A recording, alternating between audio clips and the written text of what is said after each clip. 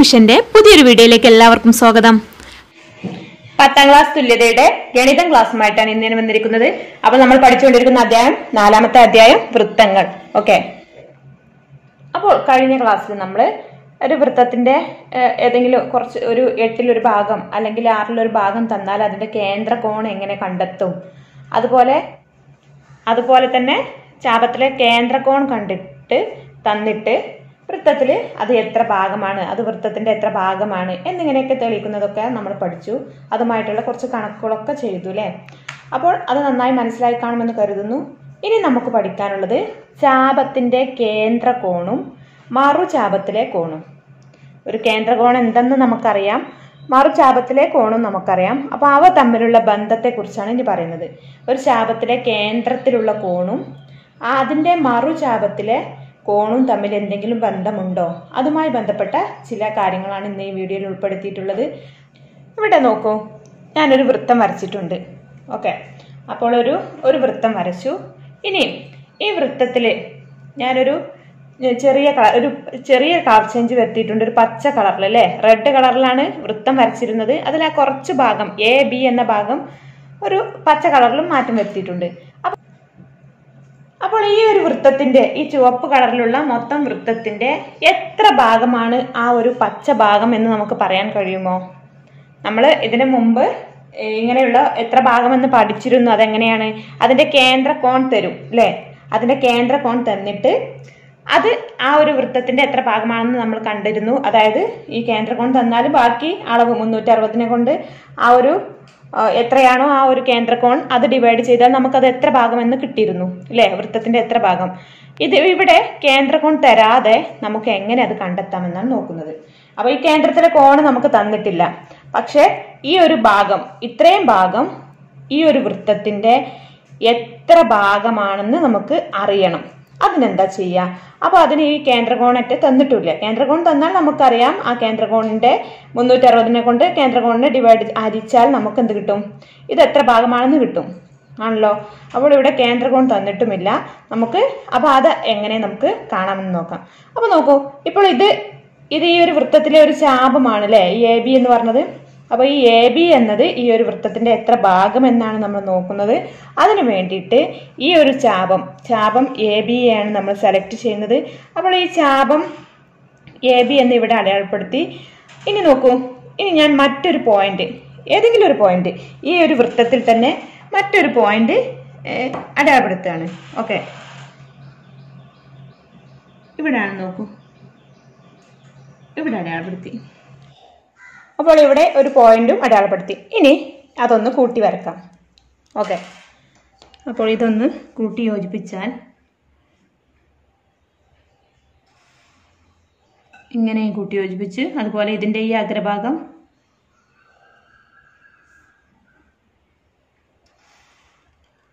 ഇങ്ങനെ കൂട്ടി യോജിപ്പിച്ച്. ഓക്കെ. അപ്പോൾ ഇങ്ങനെ ഇതെന്താണ്? ഈ ഒരു ചാപത്തിന്റെ ചാപത്തിൽ നിന്നുള്ള കോണാണ് അല്ലേ ഈ ഒരു ചാപം ആ ചാപത്തിന്റെ മറുചാപമാണിത് അല്ലേ? ഈ ഒരു ചാപം എ ബി എന്ന ചാപം അതിന്റെ മറുചാപമാണ് ഇത്രയും ഭാഗം. ആണല്ലോ? ഇതിനിവിടെ ഒരു എ ബി ഇത് സി എന്ന് കൊടുക്കാം. ഓക്കെ. അപ്പോൾ എ സി ബി എന്ന ചാപത്തിലെ കോണാണ് ഈ കിടക്കുന്നത് അല്ലേ? എ ബി എന്ന ചാപം നന്നായിട്ട് മനസ്സിലാക്കണം. എ ബി എന്ന ഒരു ചാപം അതിന്റെ മറു ചാപമാണ് ഈ കിടക്കുന്നത്. എ സി ബി അല്ലെ അതിലെ ആ മറു ചാപത്തിലുള്ള ഒരു കോണാണ് സി എന്ന് പറയുന്നത്. ഓക്കെ അപ്പോൾ ഈ സി ഇനി ജസ്റ്റ് ഇതൊന്ന് അളന്ന് നോക്കാം. ഇത് ഏകദേശം എത്ര വരുന്നു നോക്കണം. ഈ ഒരളവ് ഏകദേശം ഒരു ഇരുപത് ഇരുപത് കറക്റ്റ് ആയിട്ടില്ല. അന്ന് വരച്ചപ്പോൾ ചെറിയ അങ്ങോട്ടും ഇങ്ങോട്ടും ഉണ്ട്. ഇത് ഇരുപത് ഒരു പത്തൊമ്പത് പതിനെട്ട് ആ ഒരു റേഞ്ചിൽ ഏകദേശം അങ്ങനെ കിടക്കുന്നത്. നോക്കൂ. അങ്ങനെയാണ് ഇത് കിടക്കുന്നത്. ഒരു ഏകദേശം ഇരുപതിന്റെ അടുത്ത് എന്നാൽ ഇരുപതല്ല എന്ന് ഇരുപത് ആയിട്ടുമില്ല ആ ഒരു ലെവലിലാണ് ഇത് കിടക്കുന്നത്. അപ്പോൾ ഏകദേശം ഒരു നമുക്ക് സുമാർ ഇരുപതാക്കി കൂട്ടാം. ഇരുപതാണെന്ന് വിചാരിക്കും. ഇത് ഇരുപതാണെന്ന് വിചാരിക്കും. അപ്പോൾ ഈ കോണ് ഇരുപതാണെന്ന് കിട്ടി. ഓക്കെ. ഇനി ഞാൻ എന്ത് ചെയ്യാണ്? ഇതിന്റെ കേന്ദ്രമാണ് ഈ കിടക്കുന്നത്.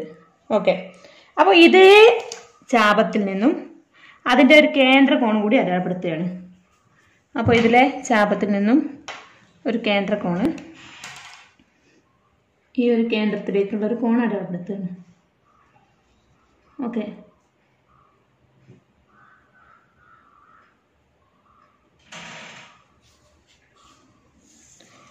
അപ്പോൾ ആ കേന്ദ്ര കോണാണ് അടയാളപ്പെടുത്തിയിരുന്നത് ഇനി ജസ്റ്റ് ആ കേന്ദ്ര കോണ് നടന്നു നോക്കും. ആ കേന്ദ്രത്തിൽ കുത്തിയിട്ട് കേന്ദ്ര കോണ് അളന്ന് നോക്കുമ്പോൾ എത്ര കിട്ടും? ഇത് കണ്ടോ? ഏകദേശം നാൽപ്പതിന്റെ അടുത്ത്. നാൽപ്പത് എത്തിയിട്ടില്ല നാൽപ്പതിന്റെ അടുത്ത്. നമ്മളിവിടെ ഇരുപതിന്റെ ഏകദേശം ഇരുപതിലേക്ക് എത്തിയിട്ടുള്ളൂ. ഇരു- ഇരുപത് എത്തിയിട്ടില്ലായിരുന്നു. അതുപോലെ തന്നെ നാൽപ്പതിന്റെ അടുത്ത് ഒരു മുപ്പത്തെട്ട് ആ ഒരു റേഞ്ചിലാണ് ഇവിടെ വരുന്നത്. ഓക്കെ. അപ്പോൾ എന്താണ്? ഇവിടെ നമുക്ക് നാൽപ്പതാക്കി എടുക്കാം. ഏകദേശം ഈ ഒരു നമ്മുടെ അളവ് നമ്മൾ എടുത്തപ്പോൾ ഉള്ള അളവിൽ ചെറിയ ഇത് വന്നതാണ്. അപ്പോൾ ഇവിടെ നാൽപ്പതാണ് ശരിയാക്കുക അപ്പോൾ ഇവിടെ നമ്മൾ ഇരുപത്. അപ്പോൾ ഇതിന്റെ കേന്ദ്ര കോൺ എത്രയാണ് നമുക്ക് കിട്ടിയത്? നാൽപ്പത് അപ്പോൾ ഇവിടെ ഇതിന്റെ കേന്ദ്രം ഈ എ ബി എന്ന ചാപത്തിന്റെ കേന്ദ്ര കോണായി നാൽപ്പത് കിട്ടിയത്. ഓക്കെ. പക്ഷേ ആ എ ബി എന്ന ചാപത്തിന്റെ മറു ചാപത്തിലുള്ള ഒരു കോണാണ് ഈ ഇരുപത് കിട്ടിയത്. അപ്പോൾ ഇത് തമ്മിൽ എന്തെങ്കിലും ബന്ധമുണ്ടോ? ഈ കോൺ ഇരുപതുമാണ് ഈ കോൺ നാൽപ്പതുമാണ് അവ തമ്മിൽ എന്തെങ്കിലും ബന്ധമുണ്ടോ? ഉണ്ടല്ലേ? ഇതിന്റെ ഈ ഒരു ശാപത്തിന്റെ ഇരട്ടിയാണ് ഇവിടെ ഉള്ളത്. അല്ലേ? ഇതിനോട് രണ്ട് ഗുണിച്ചാലാണ് ഈ നാൽപ്പത് കിട്ടുക. ഇരുപത് എന്നതിനോട് രണ്ട് ഗുണിച്ചാലാണ് നാൽപ്പത് കിട്ടുക. ആണല്ലോ? അപ്പോൾ കേന്ദ്രകോൺ ഒരു ചാപത്തിന്റെ കേന്ദ്രകോണും ആ ചാപത്തിന്റെ മറു ചാപത്തിലുള്ള കോണും തമ്മിലുള്ള ബന്ധത്തെക്കുറിച്ചാണ് നമ്മൾ പഠിക്കുന്നത്. ഒരു ചാപത്തിന്റെ ഒരു ചാപം എന്ന് പറയുമ്പോൾ നമ്മുടെ മനസ്സിൽ എപ്പോഴും ഉണ്ടാവണം വൃത്തത്തിന്റെ ഒരു അംശമാണ് വൃത്തത്തിന്റെ ഒരു ഭാഗമാണ് ചാപം എന്ന് പറയുന്നത്. ഈ ഒരു ചാപത്തിന്റെ ഈ ഒരു ചാപം എ ബി അതിന്റെ കേന്ദ്ര കോൺ എന്ന് പറഞ്ഞാൽ എന്താ? കേന്ദ്രത്തിലെ ആ പോയിന്റ് കേന്ദ്രം കേന്ദ്രത്തിലൂടെ വരക്കുന്ന ആ ഒരു കോണാണ് കേന്ദ്ര കോൺ ഓക്കെ ആ ചാപത്തിൽ നിന്നും ആ ചാപത്തിന്റെ അഗ്രബിന്ദുക്കളായ എ ബി എന്ന അഗ്രബിന്ദുക്കളിൽ നിന്നും വരക്കുന്ന ആ ഒരു കോണാണ് കേന്ദ്ര കോൺ എന്ന് പറയുന്നത്. ഓക്കെ അപ്പോൾ ആ കേന്ദ്ര കോണും അതുപോലെ ആ ചാപത്തിന്റെ മറുചാപം. എ ബി എന്ന ചാപത്തിന്റെ മറുചാപം എന്താണ്? എ സി ബി ആ എ സി ബിയിലുള്ള ഒരു കോണും അത് തമ്മിലുള്ള ബന്ധമാണ് പറയുന്നത്. അപ്പോൾ ചാപം മറുചാപം അതിലെ കോണ്. ചാപത്തിന്റെ കേന്ദ്രകോണ് മറുചാപത്തിലെ കോണ്. ഇവ തമ്മിലുള്ള ബന്ധം എന്ന് പറയുന്നത് എന്താണ്? ഒരു ചാപത്തിന്റെ കേന്ദ്രകോണ് എന്താണ്? കേന്ദ്രകോണിന്റെ പകുതിയായിരിക്കും ആ ചാപത്തിന്റെ മറുചാപത്തിലുണ്ടാവുന്ന കോണ്. ഒരു ചാപത്തിന്റെ കേന്ദ്രകോണിന്റെ പകുതിയായിരിക്കും മറുചാപത്തിലെ കേന്ദ്രത്തിലുണ്ടാ മറുചാപത്തിലെ കോണിന്റെ അളവ്. ഓക്കെ. അതല്ല എങ്കിൽ എങ്ങനെ പറയാം? മറുചാപത്തിലുണ്ടാക്കുന്ന കോണിന്റെ ഇരട്ടിയായിരിക്കും കേന്ദ്രകോണ്. മനസ്സിലായോ? ഇനി നോക്കൂ. ഇതിൽ തന്നെ ഇതിപ്പോ ഈ ഒരു സി എന്ന പോയിന്റ് ഇതിൽ തന്നെ ഞാൻ മറ്റൊരു ഒരു പോയിന്റ് അടയാളപ്പെടുത്തുകയാണ്. മറ്റൊരു പോയിന്റ് അപ്പോൾ അതിൽ നിന്ന് ഇതുപോലെ ഈ ഒരു ചാപത്തിൽ നിന്ന് തന്നെ ഞാൻ മറ്റൊരു കോൺ വരക്കാൻ പോവുകയാണ്. ഓക്കെ. ഈ ഒരു ചാപത്തിൽ നിന്ന് എ ബി എന്ന ചാപത്തിൽ നിന്ന് തന്നെ മറ്റൊരു കോൺ വരയ്ക്കാൻ പോവാണ്. ഓക്കെ. അപ്പോൾ ഇത് എത്ര ഉണ്ടാവും നോക്കാം. ഈ ഒരു കോൺ എത്ര ഉണ്ടാവും നോക്കാം. എത്ര വരും? നോക്കൂ. ഏകദേശം നേരത്തെ കിട്ടിയ അതുപോലെ തന്നെ ഇരുപതിനോട് അടുപ്പിച്ച് അല്ലേ ഇവിടെ നോക്കൂ. ഇത് സീറോ എന്ന പോയിന്റ് ആണ്. ഇത് ഇരുപതിലേക്ക് മുട്ടി മുട്ടിയിട്ടില്ല എന്നൊരു അല്പം ഈ ഒരു കളർ കൊണ്ട് വരച്ചത് കൊണ്ട് ഷാർപ്പ് പോയിന്റ് ആയിട്ട് കിട്ടില്ല. അപ്പോൾ ഇരുപതിനോട് അടുപ്പിച്ച് അല്ലേ ഇവിടെ ഉണ്ടായിരുന്ന അതേ അളവ് തന്നെയാണ് ഇവിടെയും കിട്ടിയിരുന്നത്. അപ്പോൾ ഇതും ഇരുപതാക്കി നമുക്ക് എടുക്കാം. ഇനി ഞാൻ മറ്റൊരു പോയിന്റ് ഇവിടെ കൊടുത്തു എന്ന് വിചാരിക്കാം. ഇവിടെ ഒരു പോയിന്റ് കൊടുത്തു. അതൊന്ന് കൂട്ടി നോക്ക് അതൊന്ന് വരച്ച് നോക്കിയാലോ? ഈ ഒരു അഗ്ര പോയിന്റിൽ നിന്നും ഈ ഒരു ശാപത്തിന്റെ അഗ്ര പോയിന്റിൽ നിന്നും വീണ്ടും ഞാൻ ഇതൊന്ന് വരച്ചു. അപ്പോൾ എത്ര വരും? ഇതൊന്ന് നോക്കാം. ഇതും അളന്ന് നോക്കുക. അപ്പോൾ എന്ത് വരും? ഇതും അതേ അളവിൽ തന്നെയാണ്. അപ്പോൾ ഇവിടെ ഒരു കാര്യം മനസ്സിലായോ? ഈ ഒരു ചാപത്തിൽ നിന്നും ആ ചാപത്തിന്റെ അഗ്ര പോയിന്റിൽ നിന്നും അതിന്റെ മറു ചാപത്തിലേക്ക് ഏത് പോയിന്റിലേക്ക് വരച്ചാലും ആ അളവുകളൊക്കെ തുല്യമായിരിക്കും അല്ലേ? അപ്പോൾ ഇതും ഇരുപതാ കിട്ടുന്നത് ഇത് ഇരുപതാ കിട്ടുന്നത് ഇതും ഇരുപതാ കിട്ടുന്നത്. ഇനി ഇവിടെ നിന്നും എങ്ങോട്ട് വരച്ചാലും ഈ ഒരു എയിൽ നിന്നും ബിയിൽ നിന്നും എത്ര കോൺ വരച്ചാലും എന്ത് വരും? ഒരു പോയിന്റ് എടുത്തിട്ട് വരച്ചാൽ ഇനി ഇവിടെ ഒരു പോയിന്റ് എടുത്ത് വരച്ചു. അപ്പോൾ ഇങ്ങോട്ട് വരച്ചാൽ അതും എന്തായിരിക്കും? തുല്യമായിരിക്കും. ഇതും ഇരുപതായിരിക്കും. അതുപോലെ ഇവിടെ ഒരു പോയിന്റ് എടുത്തിട്ട് ഞാൻ വരച്ചു നോക്കിയാൽ അതും എന്താവും? അതും ഇരുപതായിരിക്കും. അപ്പോൾ ഈ ഒരു ഒരു ചാപത്തിൽ നിന്നും അതിന് ഒരു ചാപത്തിന്റെ അഗ്രബിന്ദുക്കളിൽ നിന്നും മറു ചാപത്തിലേക്ക് വരക്കുന്ന കോണ് എല്ലായ്പ്പോഴും തുല്യമായിരിക്കും. മനസ്സിലായോ? അപ്പോൾ ഇവിടെ പ്രധാനമായിട്ടും പഠിക്കേണ്ടത് എന്താണ്? ഒരു ചാപത്തിന്റെ കേന്ദ്രകോണ് മറുചാപത്തിന്റെ കോണിന്റെ ഇരട്ടിയായിരിക്കും. മനസ്സിലായോ? ഈ ചാപത്തിന്റെ ഇരട്ടിയാണ് ഈ കേന്ദ്രകോൺ ഉള്ളത്. അതാണ് നമുക്ക് പഠിക്കേണ്ട പോയിന്റ് ഉള്ളത്. അപ്പോൾ അത് നന്നായിട്ട് മനസ്സിലാക്കുക. ഇനി വരുന്ന ചോദ്യങ്ങൾ ഇനി വരുന്ന ഒരുപാട് പ്രോബ്ലംസ് ഉണ്ട്. അതൊക്കെ ഈ ഒരു കാര്യത്തെ ബേസ് ചെയ്തിട്ടാണ് കൂടുതലായിട്ട് വരുന്നത്. അപ്പോൾ നന്നായിട്ട് മനസ്സിലാക്കിയിട്ട് വേണം ഈ ഒരു പാഠഭാഗം പോകാൻ അപ്പോൾ മനസ്സിലാക്കേണ്ടത് ഇത്രയേ ഉള്ളൂ. എന്താണ്? ഒരു ചാപത്തിന്റെ കേന്ദ്രകോണിന്റെ പകുതിയാണ് ആ ചാപം അതിന്റെ മറുചാപത്തിൽ ഉണ്ടാക്കുന്ന കോണ്. അങ്ങനെ മനസ്സിലാക്കാം. അതായത് ഈ ഒരു ചാപത്തിന്റെ കേന്ദ്രകോൺ എന്ന് പറയുന്നത് മറുചാപത്തിൽ കേന്ദ്രകോണ് ഈ കേന്ദ്രകോണിന്റെ പകുതിയാണ്. ഈ കേന്ദ്രകോണിന്റെ പകുതിയാണ് ആ ചാപം. ഈ ചാപം മറു അതിന്റെ മറുചാപത്തിൽ അല്ലെങ്കിൽ ശിഷ്ടചാപത്തിൽ ഉണ്ടാക്കുന്ന കോണ്. മനസ്സിലായോ? അത് നേരെ തിരിച്ചും പറയാം. എന്താണ്? ഈ ശിഷ്ടചാപത്തിൽ ഉണ്ടാക്കുന്ന കോണിന്റെ ഇരട്ടിയായിരിക്കും കേന്ദ്രകോണ്. ഏത്? ആ ചാപത്തിന്റെ കേന്ദ്രകോൺ എന്ന് പറയുന്നത്. മനസ്സിലായോ? എങ്ങനെ വേണമെങ്കിലും നിങ്ങൾക്ക് മനസ്സിലാവുന്ന രീതിയിൽ നിങ്ങൾ പഠിച്ചു വെക്കുക. അപ്പൊ നമ്മൾ ഇവിടെ എന്താ ചെയ്തത്? ആദ്യം ഒരു വൃത്തം വരച്ചു. അതിന് ഒരു ആർക്ക് വരച്ചു. ആ ആർക്കിൽ നിന്നും ഒരു പോയിന്റ് ആ വൃത്തത്തിലെ ഒരു പോയിന്റിലേക്ക് ആ ആർക്കിന്റെ രണ്ട് അഗ്രബിന്ദുക്കളിൽ നിന്നും ഒരു കോണും വരച്ചു. ആ കോണ് നമുക്ക് ഇരുപതെന്ന് കിട്ടി. അപ്പോൾ ആ ഇരുപതെന്ന് കിട്ടി. അപ്പോൾ അതിന്റെ കേന്ദ്രകോൺ വരച്ചു നോക്കിയപ്പോൾ ആ ചാപത്തിന്റെ കേന്ദ്രകോൺ വരച്ചു നോക്കിയപ്പോൾ അത് നമുക്ക് നാൽപ്പതും കിട്ടി. അപ്പോൾ അതിൽ നിന്ന് നമ്മൾ ഒരു തിയറമാണ് മനസ്സിലാക്കിയെടുത്തത് എന്താണ്? ഒരു ചാപത്തിന്റെ കേന്ദ്രകോണിന്റെ പകുതിയാണ് ആ ചാപം അതിന്റെ മറുചാപത്തിൽ അല്ലെങ്കിൽ ശിഷ്ടചാപത്തിൽ ഉണ്ടാക്കുന്ന കോൺ എന്ന് കണ്ടെത്തി. ഓക്കെ.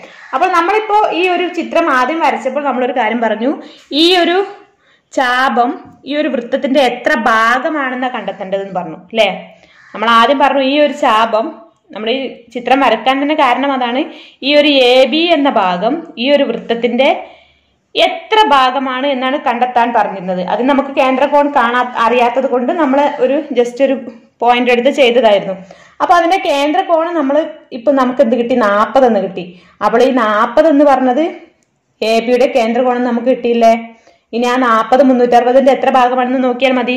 അപ്പോൾ മുന്നൂറ്ററുപതിൽ നിന്നും മുന്നൂറ്ററുപത് ഹരിക്കണം നാൽപ്പത് അല്ലേ ഇങ്ങനെ ചെയ്താൽ മതി. അപ്പൊ എത്ര വരും? ഒമ്പത് അല്ലേ ഒമ്പത് ഒമ്പത് ഇന്റു നാല് ഒമ്പത് നാല് മുപ്പത്തി ആറ് ഓക്കെ? മുന്നൂറ്ററുപത് എന്ന് വരും. അപ്പോൾ ഒമ്പതായിരിക്കും. ഒമ്പത് മടങ്ങാണ്. എന്ത്? ഈ ഒരു വൃത്തത്തിന്റെ ഒമ്പതിൽ ഒരു ഭാഗമാണ് ഇതിനെ ഈ ഒരു വൃത്തത്തിനെ ഒമ്പത് ഭാഗമാക്കിയാൽ അതിലൊരു ഭാഗമാണ് ഈ എ ബി എന്നത്. ഓക്കെ അപ്പൊ മനസ്സിലായോ? അപ്പൊ നമ്മൾ എന്താ ഇപ്പൊ പറഞ്ഞത്? ഒരു തിയറമാണ് പഠിച്ചത്. പഠിച്ച തിയറം എന്തായിരുന്നു? ഒരു ചാപത്തിന്റെ കേന്ദ്ര കോണിന്റെ പകുതിയാണ് ആ ചാപം അതിന്റെ ശിഷ്ടചാപത്തിൽ ഉണ്ടാക്കുന്ന കോണ്. മനസ്സിലായോ? ശിഷ്ടചാപം എന്ന് പറയാം മറുചാപം എന്നും പറയാം. ഓക്കെ നോക്കൂ. ഇനി ആ ഒരു കാര്യം ഒന്നും കൂടി ഉറപ്പിക്കാൻ വേണ്ടിയിട്ട് ഇപ്പോൾ നമ്മൾ ആ പഠിച്ചിട്ടുള്ള ആ തിയറും ഒന്നും കൂടി ഉറപ്പിക്കാൻ വേണ്ടിയിട്ട് ഒരു കാര്യം കൂടി പറയാം. നോക്കൂ ഇത് ഞാൻ ഒരു ഒരു വൃത്തം വരച്ചു അതിന്റെ കേന്ദ്രകോണും വരച്ചു അതുപോലെ മറുചാപത്തിൽ ഇതാ ഈ ഒരു എ ബി എന്നതിന്റെ മറുചാപമാണ് എ സി ബി അതിലെ ഒരു കോണും വരച്ചു അല്ലേ? ഈ ഒരു ചാപം ആ ഒരു മറുചാപത്തിൽ ഉണ്ടാക്കുന്ന ആ ഒരു കോണും വരച്ചു. ഇനി നോക്കൂ ജസ്റ്റ് ഞാൻ ഇതൊന്ന് വെട്ടിയെടുത്തിട്ടുണ്ട്. അവൾ ഇതൊന്ന് വെട്ടിയെടുത്തു. അതുപോലെ ഇതും ഈ ഭാഗവും വെട്ടിയെടുത്തു. ഓക്കെ ഇനി നോക്കൂ. ഈ ഒരു ഭാഗം ഇവിടെ വെച്ചു. ഇനി ഇതിനെ ഞാൻ നമ്മൾ എന്താ പറഞ്ഞത്? ഈ കേന്ദ്രകോൺ എന്ന് പറയുന്നത് ഇതിന്റെ കേന്ദ്രകോണിന്റെ പകുതി ആയിരിക്കും ഇതെന്നാണല്ലേ പറഞ്ഞത്? അല്ലേ കേന്ദ്രകോണ് ഇതാണ് കേന്ദ്രകോണ്. ഇതിന്റെ പകുതി ആയിരിക്കും ഈ കോൺ എന്നാണ് നമ്മൾ പറഞ്ഞത് അല്ലേ അപ്പൊ അത് പ്രൂവ് ചെയ്യാൻ ഞാൻ ജസ്റ്റ് ഇതൊന്ന് മടക്കി. ഇതൊന്ന് മടക്കിയിട്ട് നേർ പകുതിയായിട്ട് മടക്കി. ഓക്കെ നേർ പകുതിയായിട്ട് ഇതിനൊന്ന് മടക്കി. ഓക്കെ. എന്നിട്ട് ഇതിന്റെ പകുതി എന്ന് പറഞ്ഞാൽ എന്താണ്? ഇത് ഇവിടെ വെക്കുമ്പോൾ മാച്ച് ആവണം അല്ലേ? അപ്പോൾ ഞാനിത് ഈ ഒരു കോണിൽ വെച്ചാൽ. കറക്റ്റ് ഫിറ്റല്ലേ ആ ഒരു കോണും ഈ കോണും തമ്മിൽ ഈക്വൽ അല്ലേ? കണ്ടോ? അപ്പോൾ എന്താ ഇവിടെ പറഞ്ഞിട്ടുള്ളത്? ഈ ഒരു കേന്ദ്രകോണ് അല്ലേ?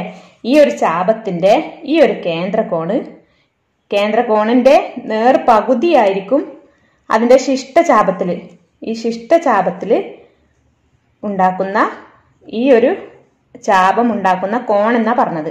അപ്പോൾ ഇവിടെ നമ്മൾ എന്താ ശ്രദ്ധിക്കേണ്ടത്? വലിയ കോൺ എവിടെ ഉണ്ടാവുക? കേന്ദ്രത്തിലുണ്ടാവുക അതിന്റെ നേർ പകുതിയായിരിക്കും എന്തുണ്ടാവുക? ഈ ചാപം അതിന്റെ ശിഷ്ടചാപത്തിൽ ഉണ്ടാക്കുന്ന കോൺ ഉണ്ടായിരിക്കുക. വളരെ നന്നായിട്ട് മനസ്സിലാക്കണം. ഇനി അങ്ങോട്ടുള്ള എല്ലാ പ്രോബ്ലംസും ഇതിന് ബേസ് ആയിട്ടാണ്. അതുകൊണ്ടാണ് ഞാൻ ഇത് വീണ്ടും വീണ്ടും വീണ്ടും പറയുന്നത്. മനസ്സിലാക്കി വെക്കാം. ഇവിടെ നൂറാണെങ്കിൽ ഇത്ര ആലോചിച്ചാൽ മതി. ഈ കേന്ദ്രത്തിലുള്ള കോണ് നൂറാണെങ്കിൽ ആ ചാപത്തിൽ നിന്നും തന്നെ വരക്കുന്ന മറ്റൊരു കോണ് മറു ചാപത്തിലുള്ള ആ കോൺ എത്ര ആയിരിക്കും നേർ പകുതി അൻപതായിരിക്കും. ഇവിടെ അറുപതാണെങ്കിൽ ഇവിടെ മുപ്പതായിരിക്കും. എല്ലാം എത്രയാണോ ഇവിടെ വരുന്നത് അതിന്റെ നേർ പകുതിയായിരിക്കും ഇവിടെ വരുന്നത്. ഇനി തിരിച്ചു ചിന്തിക്കാം. ഈ ഒരു ഒരു ചാപമുണ്ട്. ആ ചാപത്തിൽ നിന്ന് വരക്കുന്ന ഒരു കോണ് ഇത് മുപ്പതാണെങ്കിൽ അതിന്റെ കേന്ദ്ര കോൺ എത്ര ആയിരിക്കും അറുപത്. തിരിച്ചും ഇങ്ങോട്ടും ചിന്തിക്കാം. ഓക്കെ അപ്പോൾ എന്താണ്? കേന്ദ്രകോൺ എന്ന് പറയുന്നത്. കേന്ദ്ര നേർപകുതിയായിരിക്കും നേർ പകുതിയായിരിക്കും ഇവിടെ. അതല്ല എങ്കിൽ ഈ കോണിന്റെ നേർ ഇരട്ടിയായിരിക്കും ഇവിടെ. അത് രണ്ടും അങ്ങോട്ടും ഇങ്ങോട്ടും മാറിപ്പോവരുത്. മനസ്സിലാക്കുക ഈ കേന്ദ്രത്തിലുള്ള കോണായിരിക്കും വലുത്. അത് ഇങ്ങോട്ട് വരുമ്പോൾ ചെറുതായി വന്നിരിക്കുകയല്ലേ ചെയ്തിരിക്കുന്നത്. അപ്പോൾ ഇതായിരിക്കും വലുത്. ഈ ഉള്ളിലുള്ള ഈ കോണായിരിക്കും വലുത്. ഇത് ഇങ്ങോട്ട് കുറച്ചുകൂടി ഇങ്ങോട്ട് വരുമ്പോൾ അത് ചെറുതായി വരും. അപ്പോൾ ഇവിടെയാണ് ഇവിടെയാണ് നൂറെങ്കിൽ ഇവിടെ അൻപതായിരിക്കും. ഇവിടെ അറുപതാണ്. ഇവിടെ എന്താണ്? നൂറ്റി ഇരുപതാണെങ്കിൽ ഇവിടെ അറുപതായിരിക്കും. നേർപകുതി എത്രയാണോ ഉള്ളത്? അപ്പോൾ ഇവിടെ അറുപതാണെങ്കിൽ ഇവിടെ മുപ്പതായിരിക്കും. അങ്ങനെ. അപ്പോൾ എന്താണ് ഇവിടെ പറഞ്ഞിട്ടുള്ളത്? ഒരു തിയറം എന്താണ്? വളരെ ഇമ്പോർട്ടന്റ് ആണ്. ഒരു ചാപത്തിന്റെ കേന്ദ്രകോണിന്റെ പകുതിയാണ് ആ ചാപം അതിന്റെ ശിഷ്ടചാപത്തിൽ ഉണ്ടാക്കുന്ന കോണ്. ശിഷ്ടചാപം എന്ന് പറയുന്നത് ഇതാണ്. ഇതാണ് ഒരു ചാപത്തിൻ എന്താ ഇവിടെ പറഞ്ഞത്? ഒരു ചാപത്തിന്റെ കേന്ദ്രകോൺ ഈ ഒരു ശാപം എടുക്കുകയാണെങ്കിൽ എ ബി എന്ന ശാപം എടുക്കുകയാണെങ്കിൽ അതിന്റെ കേന്ദ്രകോൺ ഇതാണ്. കേന്ദ്രത്തിലുള്ള കോൺ ഇതാണ്. ആ കേന്ദ്രകോണിന്റെ പകുതിയാണ് പകുതിയാണ് എന്ത്? ഈ കേന്ദ്രകോണിന്റെ പകുതിയാണ് ഏത്? ഈ ചാപം ഈ ചാപം അതിന്റെ ശിഷ്ടചാപത്തിൽ ശിഷ്ടചാപം എന്ന് പറഞ്ഞാൽ ഈ ഭാഗം ശിഷ്ടചാപത്തിൽ ഉണ്ടാക്കുന്ന കോണ്. ശിഷ്ടചാപത്തിൽ ഉണ്ടാക്കിയ ഒരു കോണാണിത്. ആ കോണിന്റെ ഈ കോണ് എന്താണ്? ഈ കേന്ദ്ര കോണിന്റെ പകുതിയായിരിക്കും. മനസ്സിലായോ? തിയറം നന്നായിട്ട് മനസ്സിലാക്കുക. ഇനി ഇവിടെ ടെക്സ്റ്റ് ബുക്കിൽ സൈഡിൽ ഒരു ചെറിയ കോളത്തിൽ കൊടുത്തിട്ടുണ്ട്. ഒ എന്ന ഒരു ബിന്ദു കേന്ദ്രമാക്കി ഒരു വൃത്തം വരച്ച് എ ബി സി എന്നിങ്ങനെ മൂന്ന് ബിന്ദുക്കൾ അടയാളപ്പെടുത്തുക. അതാണ് ഞാൻ തൊട്ട് മുന്നേ കാണിച്ചിരുന്നത്. അല്ലെങ്കിൽ ഇത് ഇത് തന്നെ അങ്ങനെ ആലോചിച്ചാൽ മതി. ഒരു കേന്ദ്രം വരച്ചു. ഓ കേന്ദ്രമാക്കി ഇതൊരു ഓ കേന്ദ്രമാക്കിയിട്ടുള്ളൊരു വൃത്തമാണെന്ന് സങ്കല്പിക്കുക. ഓ കേന്ദ്രമാക്കി ഒരു വൃത്തം വരച്ചു. ഓക്കെ അതിൽ എയും ബിയും അടയാളപ്പെടുത്തി സിയും ഒരു പോയിന്റും അടയാളപ്പെടുത്തി. ഈ മൂന്ന് ബിന്ദുക്കൾ അടയാളപ്പെടുത്തി. പിന്നെ എ സി അതുപോലെ ബി സി വരക്കാൻ പറഞ്ഞു. എന്നീ വരകൾ വരച്ച് കോൺ സി അടയാളപ്പെടുത്തി. ഇനി ഒ ഒ അല്ലേ? അപ്പോൾ ഒ എയും ഒ ബിയും വരക്കാൻ പറഞ്ഞു. അതും വരച്ചു. ഒ എ വരച്ചു. ഒ ബി വരച്ചു. ഇനി എന്താ പറഞ്ഞത്? എന്നീ വര വരച്ച് കോൺ എ ഒ ബി അട അളക്കുക. ഇതും അളന്നു നോക്കാൻ ഇതും അളന്നു നോക്കാൻ ഈ രണ്ട് കോണും കൂടി അളന്നു നോക്കിയാൽ അവ തമ്മിൽ എന്തെങ്കിലും ബന്ധമുണ്ടോ എന്ന് നോക്കാനാണ് പറഞ്ഞത്. അപ്പോൾ നിങ്ങൾ വരച്ച് നോക്കുക ചെയ്ത് നോക്കുക പൊട്രാക്ടർ ഉപയോഗിച്ചിട്ട് ഈ കോൺ മാപ്പിനെ ഉപയോഗിച്ചിട്ട് ഈ കോൺ മാപ്പിനെ ഉപയോഗിച്ചിട്ട് ഈ കോണും ഈ കോണും അളന്ന് നോക്കുക. എന്നിട്ട് എന്ത് ചെയ്യുക? ഈ പോയിന്റുകളൊക്കെ ഒന്ന് മാറ്റി നോക്കുക. ഇവിടെ എ ബി എന്നത് ഇവിടെ തന്നെ വെച്ചിട്ട് ഇവിടെ വേറെ പോയിന്റിൽ എടുത്തിട്ട് ആ അളവും തുല്യമാണോ എന്ന് നോക്കുക. അങ്ങനെ ഒന്ന് വരച്ച് നോക്കുക.